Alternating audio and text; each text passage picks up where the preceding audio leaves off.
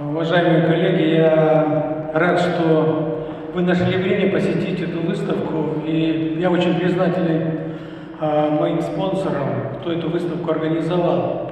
Мне очень приятно, что это происходит а, в замечательном месте. Это в стенах театра Волкова. И здесь сама атмосфера как-то диктует делать именно, показать процесс творческий процесс художника. И самой выставке в названии «Зазеркалье» я вначале не придал этому большого значения, а потом уже подумал, что действительно творчество, творчество художника – это нечто такое зазеркальное, что происходит э, в его сознании и что он хочет показать.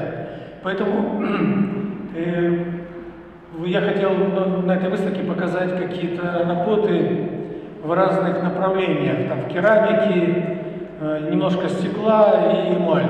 В общем-то, все это э, процесс такой творческий, когда происходит взаимодействие, слияние, синтез искусства, живопись, графика, скульптура, все это переплетается в какую-то э, философию, в, тематику. Поэтому мне было интересно сделать такой как бы, сценографию, сценографию, театр, в этих работах, чтобы он присутствовал.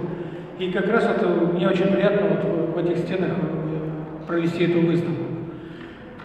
Э, надеюсь, что эти работы э, вам не то что понравятся, а просто вы увидите какие-то для себя интересные моменты, и, может быть, они дадут возможность для кого-то размышления. Потому что человек, когда смотрит на работу, он становится соучастником процесса, творческого процесса.